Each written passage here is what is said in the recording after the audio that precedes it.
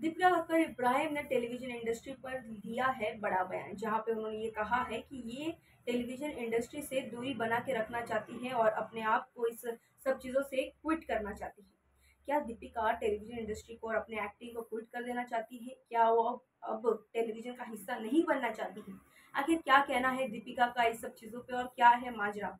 क्या उनके family pressure है? क्या वो माँ बनने वाली है इसलिए उनकी फैमिली और उनके हस्बैंड ने इस चीज़ के ऊपर दबाव डाला है कि वो ये सब चीज़ों से दूर रहे? या क्या है पूरी बात? आई नज़र डालते इस पूरे वीडियो पे।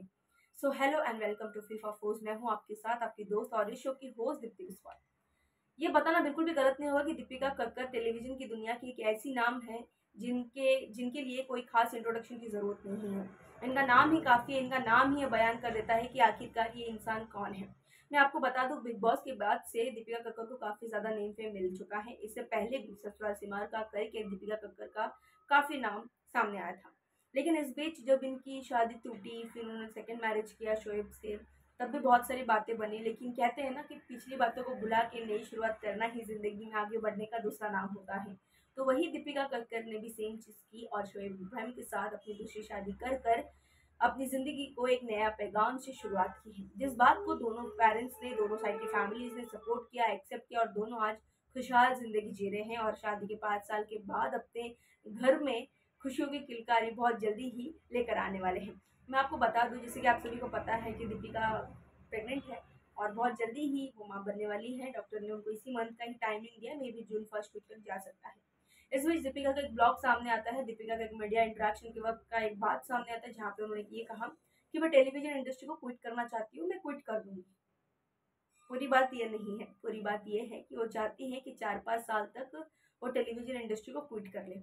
चार पाँच साल इसलिए क्योंकि वो चाहती है वो अपने बेबी के साथ चार पाँच साल उनकी पैम्परिंग के लिए, उनके नरिशमेंट के लिए, उनके, वो जो देखना चाहती है उनके बेबी को बड़ा होते हुए और बच्चों की जितनी भी छोटी छोटी मेमोरीज है, सब चीज़ को अपने सीने से समेट के रखना चाहती है, वो यादों को समेट के रखना चाहती है। द रीज़न उन्होंने ये स्टेटमेंट दिया है कि मैं चाहती हूँ कि चार पाँच साल तक जब तक मेरा बेबी थोड़ा बड़ा नहीं हो जाता, तब तक मैं टेलीविज़न इंडस्ट्री में लौटने का कोई फैसला नहीं लेना चाहती क्योंकि मैं चाहती हूँ कि मैं अपने बेबी को वक्त दूँ और वही रीज़न है कि मैं बेबी के साथ ही रहना चाहूँगी। और दीपिका का ये खबर सामने आने के बाद फिर लोगों के अंदर से सस्पेंस हट गया और सस्पेंस बढ़ गया कि आखिरकार दीपिका को अगर रोल मिलेगा तो कैसा रोल मिलेगा? और अगर टेलीविज़न क्योंकि दीपिका ने ये भी कहा कि पाँच साल बाद अगर टेलीविज़न की इंडस्ट्री से अगर मुझे अच्छा ऑफ़र आएगा तो ही मैं इस चीज़ को आगे बढ़ाऊँगी। और पाँच साल गैप करने के बाद ये थोड़ा मुश्किल हो जाता है वापसी करना, लेकिन ऐसे बहुत सारे एक्टर एंड एक्ट्रेसेस के एग्ज़ाम्पल हमारे सामने हैं जिन्होंने काफ़ी समय बाद टेलीविज़न में वापसी किया और इनका नाम आज की दुनिया में टॉप मोस्ट लिस्टेड में से एक है। अभी नाम ले लीजिए आप रूपाली गांगुली का, जो अनुपमा के लीड रोल में अनुपमा का किरदार निभा रही हैं।